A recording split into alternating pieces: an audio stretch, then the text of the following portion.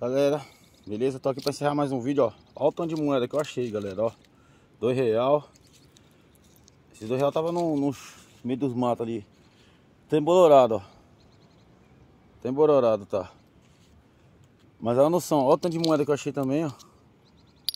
E...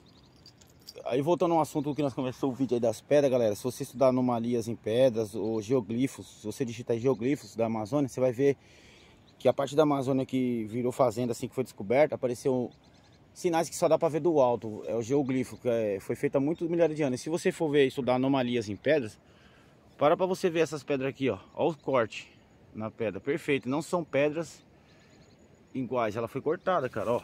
Ó.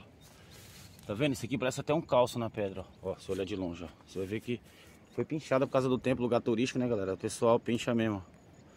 Mas olha esses cortes nessa pedra, certinho, ó. Não é a mesma pedra, tá vendo? Ela vai ali, ó. ó.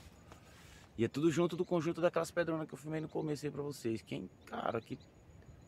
Olha assim, parece até um rosto, né? Beleza, galera? Deixa um like aí. Se inscreve no canal. Olha só os cortes. Tá vendo? Ó, sobe lá, elas cortam e se encaixa perfeitamente essas pedras, ó. Foram encaixadas por... Alguém, eu acho que pôs essas pedras aqui, cara.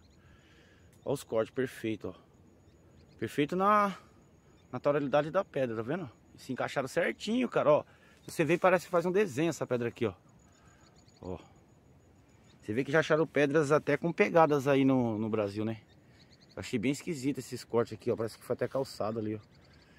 Beleza, galera? Deixa seu like aí, esse foi o vídeo. Vai ter mais vídeo aí. Eu vou voltar lá no lugar onde eu achei a pedra cortada lá no meio da mata. Vou estar tá retornando lá para detectar lá. Eu acho muito vasos lá e eu quero cavar mais fundo e subir para cima do morro lá no topo. Porque talvez no topo eu possa achar alguma coisa.